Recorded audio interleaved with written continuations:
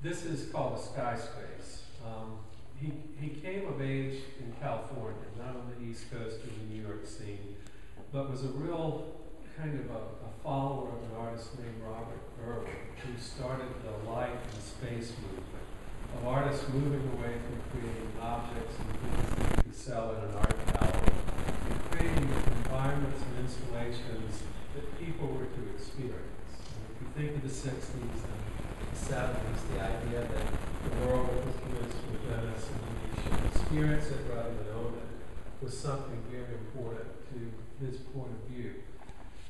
He has executed sky spaces all over the world. Um, some of them, the, the, the openings rectangular, some of them square, some of them are in urban environments, university environments, and some places you go underground to experience it. And this one has a real happy accident. If you look closely around you at the stone, this stone was specified for a slightly larger building.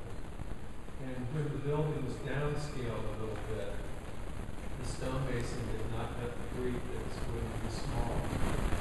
And this basket we see stone happy accident. Of course, like many just loved and is now kind of this accident into his recent work.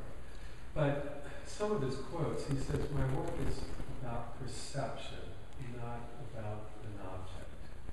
And I think, just to conclude these few comments, that if you, like many works of art, just open yourself to an experience you may not expect to find, and not just look outwardly at what's around you, but at your perception and experience within yourself, this is what is true to the spirit of Turrell and his artwork.